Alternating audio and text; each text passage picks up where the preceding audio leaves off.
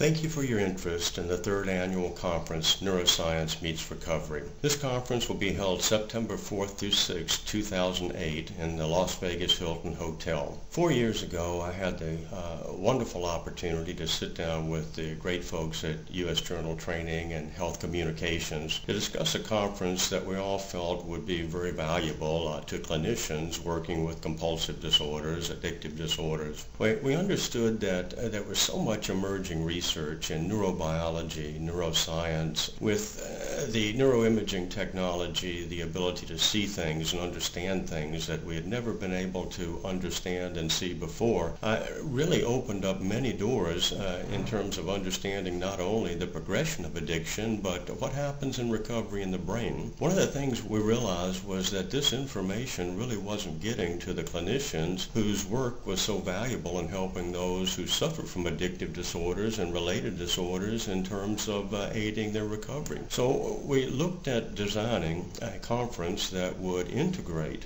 the, the best of neuroscience, neurobiology, neuroimaging, and but not only integrate it, but to bring it to the attention of clinicians in a way that would be readily applicable to their particular work. Now, probably the most difficult task that we've had was trying to come up with uh, researcher, you know, uh, clinicians because, you know, that's a pretty rare breed. Now, we were looking for people who not only had research understanding and research experience, but had been able to translate that research into actual clinical care. So we weren't so much interested in the information of the research, you know, really interested in the knowledge that could be transferred into the clinical environment. Now, I think this year's third annual conference, uh, we probably have the, the most amazing uh, group of researcher, uh, clinician, teachers that we've ever had. Just a few uh, to mention.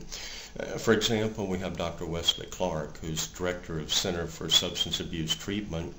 Dr. Clark has spent most of his professional career trying to help uh, clinicians understand and apply the new research that is uh, being developed in the areas of addiction and compulsive disorders and in areas uh, that, that are, are often called complicating factors such as trauma, you know, affect regulation, and, and other types of situations such as attachment. We also have, and, and we actually have uh, spent three years trying to get Dr. Allan Schore to uh, be a part of this faculty.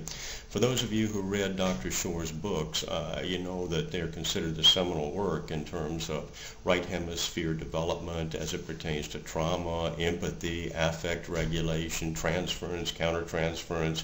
We're just delighted to have Dr. Schore with us. We also have the doctors Marshak, uh, who will talk about a, a very uh, interesting uh, finding of a genetic polymorphism and uh, how it's applied in the understanding of compulsive addictive disorders and how they uh, take this information and create a, a knowledge base that allows them to individually tailor care.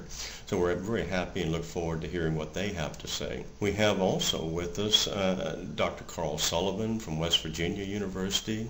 Uh, Dr. Sullivan will be talking about the uh, new approach using partial agonists such as uh, buprenorphine or Suboxone as it relates to opiate addiction treatment. He also will be talking about the exciting discovery with Chantix and how that is applied to nicotine treatment. Now, as a special guest, we have Dr. Richard Bandler. Uh, many of you remember Dr. Bandler, uh, one of the co-creators of neurolinguistic programming. Uh, we're looking forward to an evening with Dr. Bandler and uh, his new findings in the area of NLP. Now, these are just a few of the many researcher, clinician, teachers that will be at the conference. Uh, we really believe that uh, this is a conference that is going to allow you not only to learn quite a bit, but to uh, come back to your office with knowledge that can be directly applied to patient care. So we really look forward to seeing you in Las Vegas. It's going to be a great experience, and uh, we want to see you there.